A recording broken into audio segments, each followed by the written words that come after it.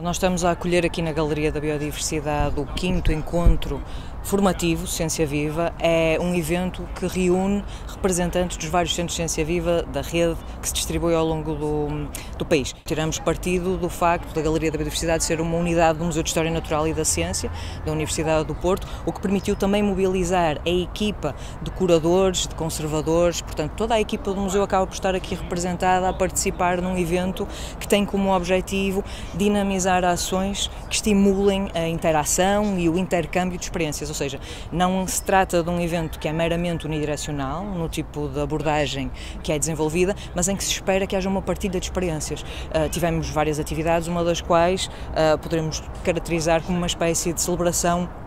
do erro. Nós partilhamos aqui experiências uh, menos felizes, mas que nos ensinam também a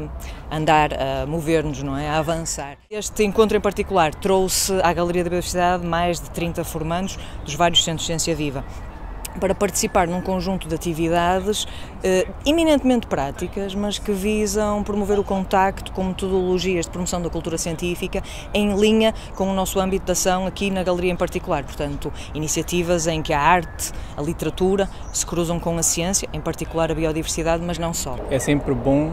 eh, poder saber o que é que os outros centros andam a fazer, no sentido em que quando partimos do nosso centro, da nossa casa que estamos habituados a fazer certas atividades, a ter dinâmicas com os nossos públicos e chegamos a outro centro completamente diferente, com uma dinâmica completamente diferente, com pessoas diferentes de nós, é sempre uma mais-valia e é sempre importante para percebermos que, embora estejamos todos reunidos na mesma rede, a rede de Centros de Ciência Viva,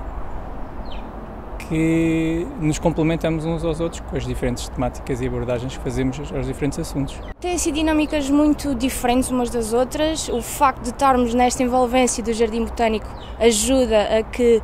passemos de uma sala para o jardim e que possamos então deslumbrar-nos com toda esta biodiversidade que, que a galeria tem para nos mostrar e lá está, as experiências que aqui estão a ser uh, desenvolvidas e os projetos que aqui estão a ser trabalhados ajudam-nos a ter uma percepção